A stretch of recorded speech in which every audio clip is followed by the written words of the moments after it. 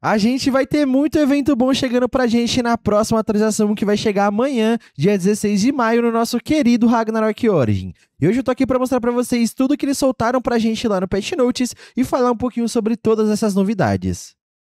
Então vamos lá, atualização do patch do dia 16 do 5, beleza? Os servidores de Ragnarok aqui, eles vão entrar em manutenção no dia 16, das 7 horas da manhã até as 9, tá? Porque isso aqui tá em UTC-4, como a gente tá em UTC-3, pra gente é uma horinha a mais. Então vai ser das 7 horas da manhã até as 9, beleza? Nova classe, Templário, a gente vai receber a classe do Paladino, eles escolheram colocar como Templário o nome, então é isso, tá? E a gente vai ter aqui os benefícios do Templário, exatamente igual a gente teve com o nosso querido Monk. Se você for no jogo aí agora, o evento inclusive tá até aqui ainda, se você vier aqui no evento especial, bônus do monge. Então, basicamente, a gente vai ter um eventinho igual a esse daqui. Ah, banana, que evento é esse? Eu nem sabia que tava existindo. Vamos lá. Eles vão fazer o quê? Eles vão dar pra gente um desse pergaminho aqui que a gente encontra na loja de cash, que é o decreto de mudança de classe. Toda classe nova que lançar, rapaziada, eles sempre vão dar um desse. Então a gente vai poder pegar esse decreto e trocar para qualquer classe que a gente quiser. Porém, durante o período desse evento aqui, caso você queira utilizar esse decreto de mudança de classe, que eles vão dar de graça pra gente para trocar pro paladino, você pode trocar e quando você trocar pro paladino, você vai ganhar algumas recompensas. E cara, eu vou falar para vocês que essas recompensas são muito boas. Então se você não pretende trocar sua classe, tipo assim, ah, eu não quero jogar contra classe, classe, eu quero me manter na minha, então você utiliza esse decreto de mudança de classe para pelo menos você trocar para o paladino, pegar as recompensas e depois reverter para sua classe original, porque você tem um período de 24 horas em que você pode permanecer naquela classe. Se você não voltar durante esses 24 horas, infelizmente você vai ficar preso na classe e você vai ter que pagar de novo para você poder voltar. Então, troca de classe, pega as recompensas e depois volta para sua classe. E relaxa que se você tá inseguro em relação a essa troca de classe e tal, você não sabe como fazer, relaxa que seu Mano Bananão aqui vai te mostrar certinho quando lançar amanhã, beleza? A gente vai ter também aqui o um novo sistema de pré-definição de cartas, que o próprio programa já disse para que ele serve.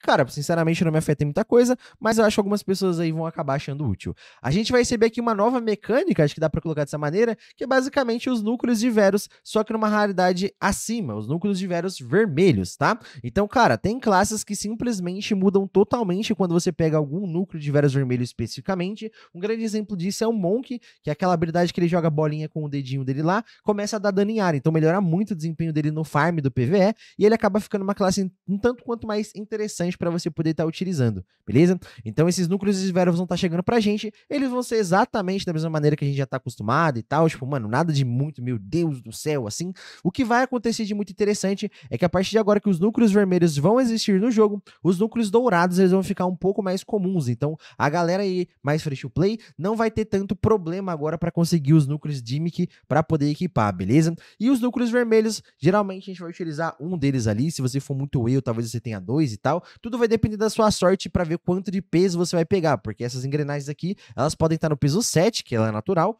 ou no peso 5. Então, cara, é um tanto quanto complicado você arrumar uma build para você poder encaixar elas direitinho, mas vamos ver o que, que vai acontecer.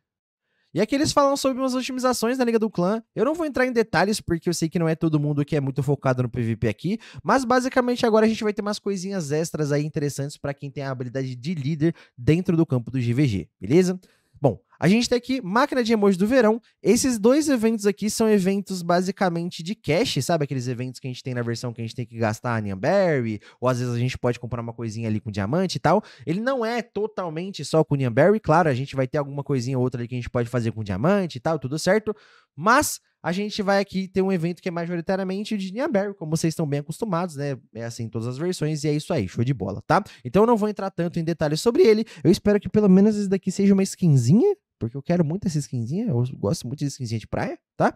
A gente vai ter mais um evento aqui de roda do Drake, que é mais um desses eventos que a gente utiliza é, geralmente em Amberry para fazer, mas esse daqui se assemelha bastante, pelo que eu tô vendo aqui, a um outro evento que a gente já teve, que era aquele evento que tinha a roletinha que dava o elefante. Se for realmente isso, para você que gasta em no jogo, esse daqui é um dos melhores eventos que a gente tem, porque ele é bem baratinho, se realmente foi isso que eu tô pensando, ele é bem baratinho e tem umas recompensas bem interessantes. Mas como eles estão dando aqui 30 caixas de pluma de luz e sombra, eu acho que ele não vai ser exatamente o mesmo evento, mas vamos ver o que que vai acontecer aí, beleza? Aqui a gente vai ter algumas novidades na loja, né? Eles estão falando que o próximo gasto que a gente vai receber é esse daqui. Lembrando que por atualização a gente recebe dois usuais, então esse daqui é o primeiro, a gente vai receber um outro mais pra frente, quando esse aqui acabar.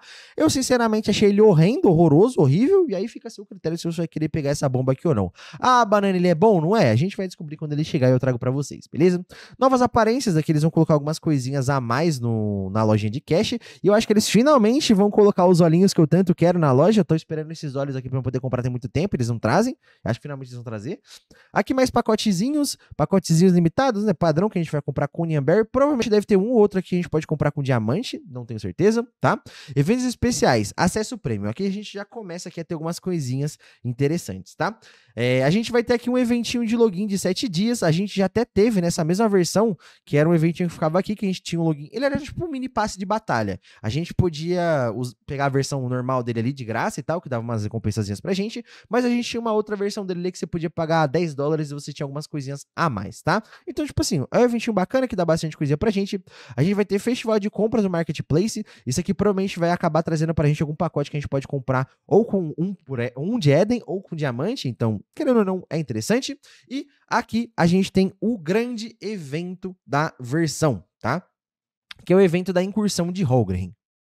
Então vamos lá, esse evento aqui ele vai ser praticamente o MVP do Holgrim, vamos colocar dessa maneira, porque basicamente ele vai spawnar em horários específicos do dia e ele vai ficar ali por uma hora para a gente poder cacetar ele. Então ele vai spawnar aqui às 12, às 14, às 18, às 20 e às 22, beleza? E depois que ele for derrotado, ele reaparece após 5 minutos. Então pelo que dá a entender aqui, ele vai aparecer, ele vai durar uma hora. Então se a gente dentro dessa uma hora matar ele, tipo, em, sei lá, 10 minutos, a gente demorou 10 minutos para matar ele, show. Aí vai passar 5 minutos morto e ele vai spawnar de novo. E ele vai ficar durante esse período de uma hora aí pra gente poder ficar derrotando ele. Então ele é realmente bem parecido com o MVP e cada jogador vai poder participar três vezes por dia desse evento aqui. Beleza? E quando a gente derrota ele, ele vai dropar mais seis clones dele, que provavelmente são mais fracos que ele, e que vai contar com uma recompensa de participação que a gente pode pegar seis vezes por dia, beleza? Então a gente pode fazer o MVP, vamos colocar dessa maneira, do Holgrim três vezes por dia e os, entre aspas, minis elites do Holgrim a gente vai poder fazer seis vezes por dia. Então é bem parecido com esse evento do Pinto que a gente acabou de ter, mas eu acho que vai ter ali suas diferençazinhas e claro, a gente vai ter muita coisa para pegar provavelmente nessa lojinha do evento, então eu tô bem ansioso. Eu gosto muito desses eventos grandes que eles trazem pra gente na versão. E cara, se vocês repararem aqui, mano, eles já colocaram pra gente aqui, ó, a nossa querida dançarina seria um spoiler de que a próxima classe é a dançarina? Não sei, fica aí, né? Fica aí a seu critério aí, acreditar nisso ou não, tá? Se eu não me engano, esse daqui também é de uma outra classezinha do Ferreiro, eu não tenho certeza. Mas enfim, tem ali a dançarina. Isso quer dizer alguma coisa? Não sei entendeu? Porque a ordem que eles vão lançar os bonecos tá tudo bagunçado, para quem não tá sabendo, tá? O Magic Drops, ele tinha mandado uma coisa lá no Discord, depois ele falou que não, que ele tinha errado. Aí agora, foda-se, eu já não sei mais qual que vai ser a ordem. Eu não sei se vai ser a ordem que eles tinham lançado no Discord, se vai ser a ordem que eles seguiram lá no servidor global. Eu sei que eu tô rezando aí para acontecer alguma coisa boa e é isso aí. Aí a gente vai ter aqui o evento de comissão de operação, que a gente fica com 100 bilhetes de comissão ao invés de 80, então isso aqui é muito bom para te ganhar um XPzinho extra. E aqui a gente tem um dos melhores eventos do jogo, que é o Desejo de Batalha, que é aquele evento que aconteceu aí recentemente pra gente, que a gente ganha 60 de estamina, tanto de aniquilação de monstro, que é a estamina de drop, quanto da outra estamina, que é a estamina de experiência, tá? Então esse evento é muito bom. Só que especificamente dessa vez a gente tem um toquezinho a mais dele. Por quê? Porque a gente vai vir aqui de novo com o melhor evento do jogo, que é o evento de chance de drop de carta dobrado.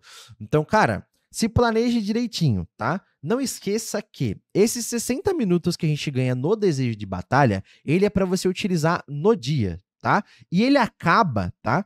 O evento do Desejo de Batalha acaba justamente no dia que começa o evento de drop de carta. Então você precisa gastar esses 60 minutos desses dois dias, ou seja, dia 25 gasta 60 e dia 27 gasta 60 também. Aliás, dia 25 e 26 você gasta 60, tá? É, e aí, dia 27 vai começar o evento de carta. Só que tem um porém, rapaziada. É interessante que você tenha a sua estamina estacada para o dia 27, quando o evento efetivamente começar. Então faz os cálculos direitinho para você garantir que você vai conseguir chegar aqui nesse dia 27 com os 210 estamina de drop, tá? Porque querendo ou não, isso é muito, muito importante vai influenciar demais, tá? Ah, Bananão, quais cartas que eu deveria farmar, não sei o que e tal. Eu postei um vídeo ontem aqui no canal que eu vou deixar no fim desse vídeo para você dar uma olhada sobre quais são as cartas mais importantes para você ter na sua conta. E quando a gente chegar aqui no finalzinho desse Patch Notes, tem mais uma coisa que eu ainda vou falar para vocês que é muito importante, beleza? Então continua aí. Show? Então, ó, o evento do Desejo de Batalha tá falando aqui que é do dia 25 até o dia 27. Porém, ele acaba no dia 27. Então, ele começa no dia 25 às 6 da manhã. A gente vai ter 60 de estamina no dia 25, 60 de estamina no dia 26. E quando for virar do dia 26 pro dia 27 às 6 da manhã, a gente não vai ganhar mais 60 de estamina, tá, rapaziada? É 120 de estamina que a gente ganha durante esse período do evento. Então, aí no dia 27 às 6 da manhã, vai começar o evento de drop de carta. Então, não dá para você guardar esse 120 de estamina do evento do desejo de batalha. Cuidado para não fazer besteira, tá, rapaziada? Lembra que a gente ganha 30 de estamina todo santo dia. Você não pode desperdiçar essa estamina de jeito nenhum. A gente vai ter também aqui o evento do Caçador de Tesouro, que se eu não me engano é aquele evento que dá pra gente 5 ticketzinhos do Devirushi, se eu não estou enganado é isso. Memorização de pet é mais um evento meio que pequeno, entre aspas, que a gente vai ter a versão. E aqui a gente tem algumas coisas interessantes, tá? Otimização e ajustes, meio que foda-se, correção de bugs, meio que foda-se. Mas a gente tem aqui conteúdo futuro, tá? Rumo ao domínio dos deuses. Novos equipamentos estão prestes a serem lançados. O que, que isso significa? Mano, seguinte, até o momento a gente estava acostumado a simplesmente vir aqui e craftar cada uma das nossas partezinhas de equipamento, correto? Correto. Porém, no nível 90 isso vai mudar, porque a gente vai receber o Nightmare Temple, que é o templo do pesadelo, acho que vai ficar traduzido desse jeito, tá? E basicamente ele é dividido por temporadas e ele tem certos níveis de dificuldade. E lá é onde a gente vai conseguir os nossos novos equipamentos. E os nossos equipamentos, eles vão ser baseados no nível de dificuldade que a gente conseguir atingir dentro do Nightmare Temple. Então, por exemplo, se você ficar só no nível mais baixo, o seu set de equipamento ele vai ser de realidade azul. E se você estiver fazendo mais pica lá, ele vai ser de realidade dourada. Então, basicamente, resumindo de uma maneira bem porca para vocês, é isso, tá? Eu tô resumindo dessa maneira porque quando chegar efetivamente esse conteúdo pra gente, eu vou trazer vídeo aqui no canal ensinando como é que funciona. Então vocês não precisam se preocupar.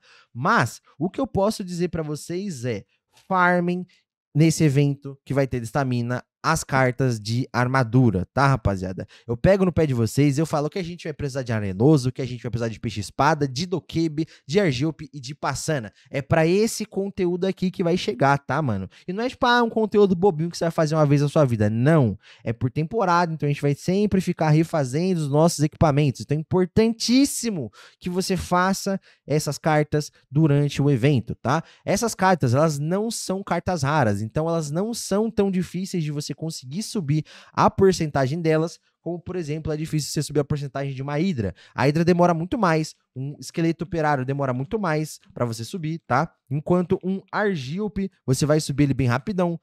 É, e eu gosto de usar de exemplo aqui o Giart também, porque eu já tô bem farmando ele aqui. Mano, eu acho que eu peguei uma semana para farmar meu Giart, eu acho, menos até, e eu já tô com 51% de estamina. Claro que teve esse eventozinho de estamina, não, de, de, de, barra ali, quase 52. Claro que teve aquele evento de estamina pra gente, mas no geral, tipo assim, essas cartas que não são Esqueleto Operário, Minouros, o Besouro Chifre e o. Quem que é o outro? Quem que é o outro? A Hydra, tá? É, as cartas que não são raras, elas são bem mais fáceis da gente dropar. A porcentagem delas sobe bem mais rápido. Então, pelo amor de Deus, mano, farmem essas cartas de armadura. Eu tô terminando meu farm de Giart aqui, mano. Assim que eu terminar meu farm de Giart, eu tô indo lá farmar provavelmente um Passana, ou vou farmar um Dokebe, não sei ainda. Vou me decidir que eu vou farmar. Mas no caso, eu vou farmar todos, só não sei qual que eu vou farmar primeiro ainda, tá? Então, pelo amor de Deus, rapaziada, não deixa de farmar essas cartinhas, tá?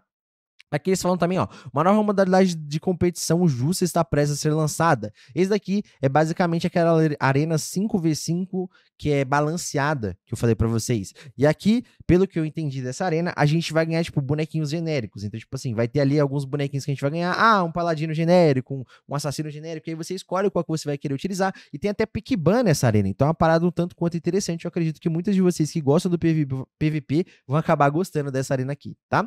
E aqui, mais classes novas serão lançadas. Isso aqui a gente já sabe, né? Dia 16 do mês que vem. Aí a gente tem outra classezinha sendo lançada, beleza? Então, o vídeo de hoje foi esse. Esse é o Patch Notes. Cara, a gente tem muita coisa boa, a gente tá tendo evento, a gente tá, tipo, cara, no momento interessantíssimo do jogo. Eu tô me divertindo bastante e eu tenho certeza que muitos de vocês estão se divertindo também. Beleza? Então o vídeo de hoje foi esse. Um beijo no coração de quadro de vocês. Fiquem bem até o próximo vídeo e fui.